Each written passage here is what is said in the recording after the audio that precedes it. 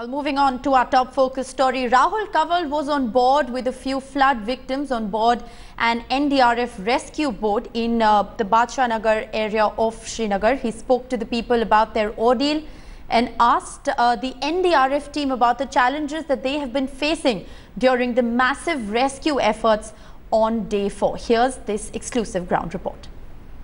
Day four of the NDRF rescue operations. We are currently in the Bachanagar area of Srinagar on board an NDRF rescue vessel. We've just rescued a family of uh, four young girl and a mother being brought out by the NDRF crew. Let me first speak to the officer in charge of this rescue operation. How are things changing, sir, between day one, two, three, and now four? Uh, the, first of all, the water is receding. The people uh, are not now in a panic. Uh, they don't want to leave their houses, but because they have realized that the water is now receding, uh, what is now needed is uh, uh, water for them because uh, most of the people don't want to be evacuated. And this is a critical situation where we will have to dump in and push in more foodstuffs and water rather than rescuing people. So the res- in in major parts of the city, there are still places where people would like to be rescued because the water level is quite high in those areas. But particularly in this area where now uh, where we are operating right now, the people don't want to leave their houses. They want uh, water. Because one of the problems seems to be that even if you rescue them and you take them out to a patch which is dry, surrounded by other areas where there's water, they don't know what to do over there. So from their perspective, it's a very legitimate concern. They don't want to be rescued. They rather stay in their houses because if you take them out, they don't know what happens there. Yes, I am not aware about what the civil administration has uh, made arrangements for their stay. But as far as our mandate is concerned, we are rescuing people. Whoever wants to come out of their house, we take them to the uh, dry uh, dry areas and leave them from where the communication uh, road surface uh, communication is possible. So um, uh, after that, it is up to the administration because we are so busy in our work that we have not been able to find out as to what administration has made. Whatever we came to know on the first day was majority of the people were going to their relatives and friends' houses which had not been inundated. In the big difference between what we saw uh, in Orissa during the cyclone, in Uttarakhand during the cloudburst, uh, is that after the NDRF teams rescue the civilians, they are put, for example, in stadiums or big grounds where the civilian administration takes charge of their food, water, logistics. Now, in this situation, you've got all these people being rescued and they frankly have no idea of what they intend to do. Let's in fact ask the young family that's just joined us. आप लोगों को यहाँ पर NDRF ने rescue किया है। आ, पहले तो ये बताएँ कि पिछले चार दिन आप लोगों के लिए कितने मुश्किल थे? बहुत सारी मुश्किल पैदा हुए। इनफैक्ट पानी भी नहीं था। खाने के लिए कुछ भी नहीं था। हमें मत पता था ये वाला स्कैन इतना सैलाब आने वाला है फ्लड होने वाला है जमा। में कुछ भी नहीं पता था।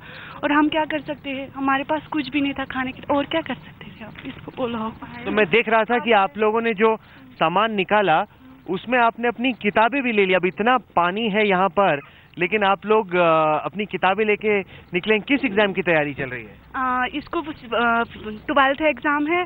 मेरा एमए के लिए प्रिपरेशन हो रही है और इसको टेंथ का एग्ज़ाम है। तो इस सब सैलाब में आप क्या पढ़ने की कोशिश कर रहे थे? आप क्या करेंगे? एग्ज़ाम का तो कुछ नहीं हो सकता है। एग्ज़ाम तो एग्ज़ाम पे ही हो टाइम पे ही होगा। तो वो उसके लिए कुछ कंसेशन होनी चाहिए। हमें पढ़ाई पे असर हुआ।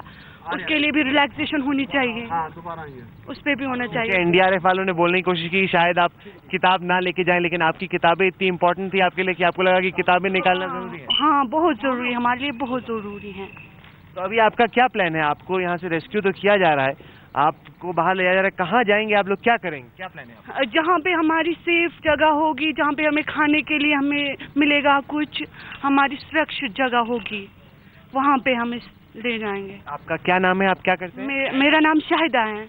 मैं मलिक शाहिदा हक मलिक शाहिदा हक मैं एमए कर रही हूँ। इस साल मेरा एमए है। Let's also speak to somebody who's been involved in trying to evacuate this family. ये बताएँ कि आप यहाँ पर पुलिस में भी काम करते हैं।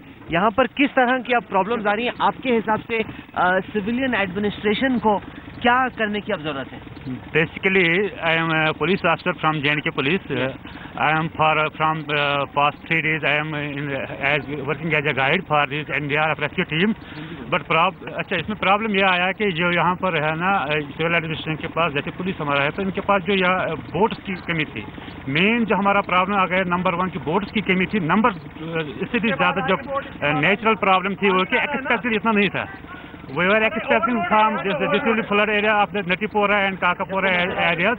But जो अनएक्सपेक्टेड हो गया जैसे राजबाग हो गया यहाँ से जवाहर नगर हो गया और यहाँ से जिस इस लेन में जिस लेन में आप जा रहे हैं तो इसमें एक्सपेक्टेड था कि थ्री टू फोर फीट हो जाएगा। लेकिन अब क्या हो गया कि एक मंजिल से ऊपर भी होने लगा पानी तो इसमें मेरे ख्याल से कि सिविल एडमिनिस्ट्रेशन कुछ कर ना पा, पा सकती थी और ना कुछ कर पाती। हाँ अगर इतना होता कि अगर सिविल एडमिनिस्ट्रेशन ने ये जो बोट पहले ही रिज़र्व रखे होते, जो आज एनडीआरएफ टीम ने ला रहे हैं दो तीन दिनों से चला रहे हैं अगर सिविल एडमिनिस्ट्रेशन के पास जेके पुलिस के पास ये बोट्स होते तो वो बोट भी इसी तरह रेस्क्यू कर सकते हैं, जैसे नहीं, पर ये बार बार हम जगह देख रहे हैं हर जगह पर कि civilian administration missing in action है, कि जो लोगों को बचाया जा रहा है, जब उन्हें आगे पार किया जाता है तो वहाँ पे कोई प्लान ही नहीं कि लोग कहाँ रहेंगे किसके पास जाएँगे कौन खिलाएगा कौन हाँ। पिलाएगा कहाँ सोएँगे? दैट इज़ सब्सिक्वेंट रेस्क्यू जो ऑपरेशन हुआ उनके जो रेस्क्यू ऑपरेशन जो है सब्सिक्वेंट जो एडमिनिस्ट्रेशन का काम था जैसे इनका जैसे टेम्पोररी रिहेबिलिटेशन तो उसमें उसमें किसी हद तक सिविल एडमिनिस्ट्रेशन फेल है। जो यहाँ पर लोकल है जो यंगस्टर्स है वॉल्टियर्स है वही जगह जगह जो कर रहे हैं इनके जो खाने पीने का इंतज़ाम कर रहे हैं या किसी ने कोई बैंकेट हॉल खोल के रखा है वो उसने फ्री करके रखा किसी का मैरिज हॉल है उसने फ्री करके रखा है। एज फार एज सिविल से कंसर्न तो उनका भी ये प्रॉब्लम है कि वो जहाँ पे उनकी जो ऑफिसर्स है, उनको जो कम्युनिकेशन गैप है, जो लैक ऑफ़ कोऑर्डिनेशन हो गया क्योंकि कट ऑफ़ रह गए। जहाँ पर उनका एक ऑफिसर एक जगह है तो दूसरी जगह नहीं पहुँच पाता है। उनको भी जो रेस्क्यू टीम वाले हैं, जब उनके ऑफिसर उसको दूसरी जगह लेते हैं तो वहाँ पर कन्वीन मीटिंग कर सकते हैं, क्या उनका फ्यूचर प्रोग्राम क्या वो कर सकते हैं। ये प्रॉब्लम उसमें आ रही है। Election are due in Jammu and Kashmir uh, in just a couple of uh, months from now, probably in November, and the level of anger against the Omar Abdullah government can be sensed in the air.